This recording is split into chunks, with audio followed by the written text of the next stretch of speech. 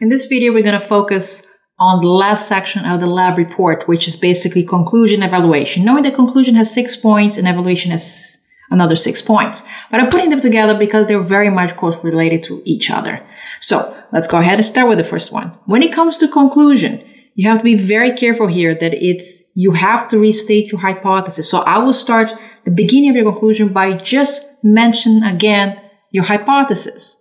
And by the end of that statement, it says, if this, then this, and then you say right after it that it's been supported or not supported. Do not say the word proved because proved will get you points off. It's just about being supported or not supported. Now, once you mention your hypothesis and you mention right after it if it's been supported or not supported, then it comes with the backup information. What are the backup?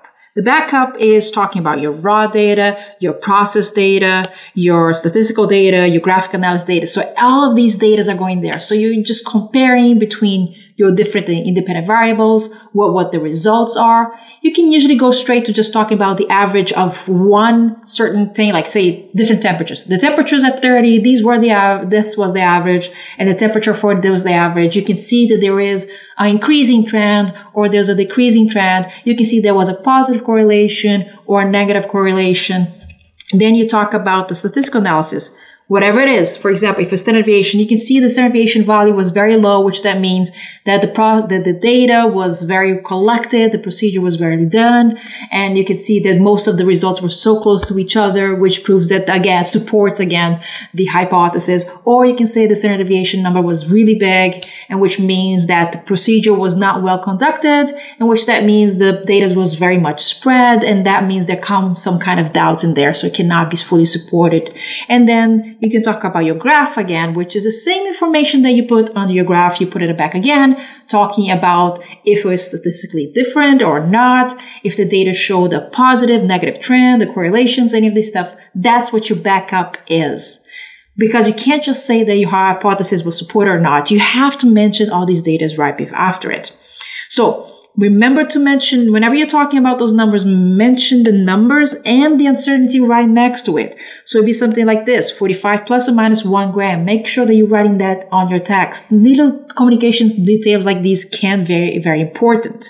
So right after that, because that will be your first paragraph. Sometimes it might take you two paragraphs to describe the entire data, right? On your third paragraph, third or fourth, usually, usually the third one, you'll be talking about some scientific article that can support your research. That means that scientific article must be cited. What you need to know about the scientific article, which is extremely important, is that a lot of students don't put it. They just talk about their data, their lab report, and they're done. No. Once you have done your hypothesis, once you have the backup, all the data with it, the next paragraph, you need to find a scientific article done by another scientist who has done an experiment related to yours that will support or will not support your situation. Most likely, most of the time will be support. You put it there to back up another idea from your hypothesis. You have to cite it. Now, Here's the most important thing is that the paragraphs, they, they cannot be too small. I have seen students only put one tiny paragraph and that was it. No, conclusion needs to be really big. And we're talking big as in three paragraphs minimum. Does it have to be eight? No, that's too much. So usually the first one, hypothesis with data. Second one is mostly more data, average standard deviation graphs.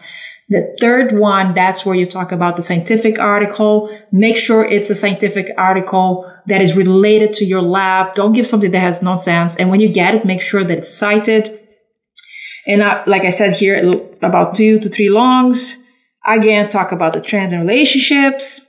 Also, something that you can talk about is the inconsistency of the data or the outliers. You can mention about the outliers here you don't get points if outliers are shown. You can talk about the outliers and say why you rejected them or why they don't support the situation. That also is points because you're mentioning about them.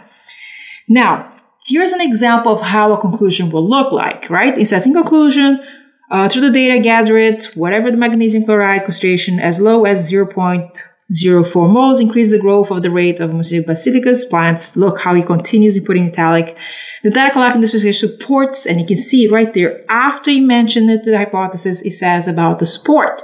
Supports this, and then you can see as this guy was increasing, the other one also did increase. That's his hypothesis.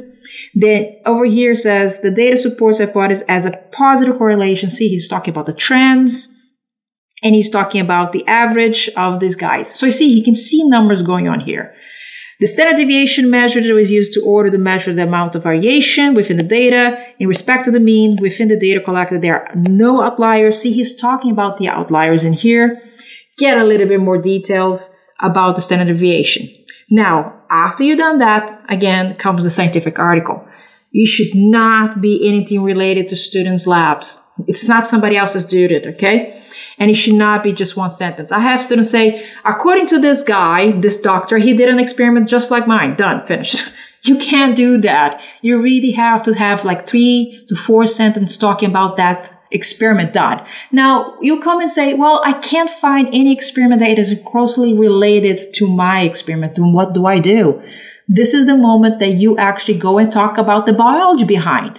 You can go and say, according to whatever book or according to whatever situations, articles, cycles, whatever it is, explaining the biological mechanism that supports your hypothesis. That is totally fine as long as you're also citing it.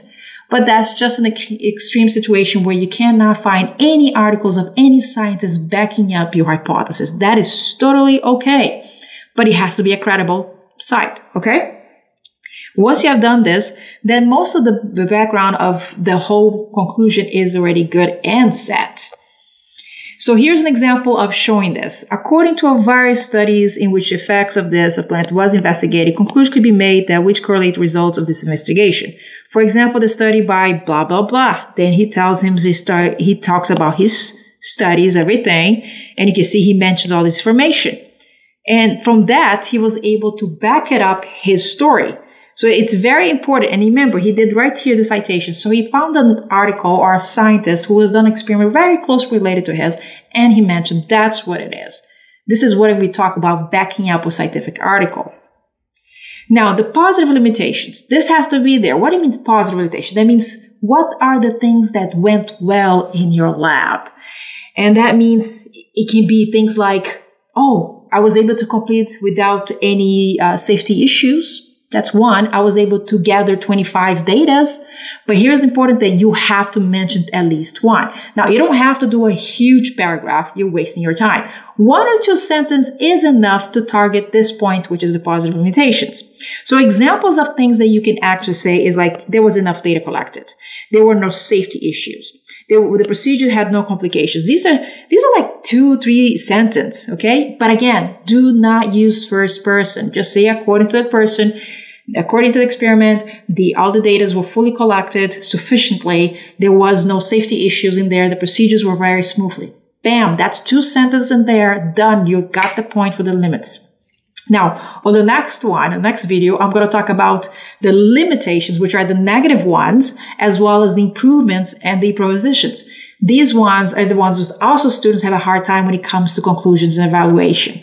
So stick by for the next video so I can talk about limitations and improvements. And remember, with Nail IB, you can get that seven. See ya.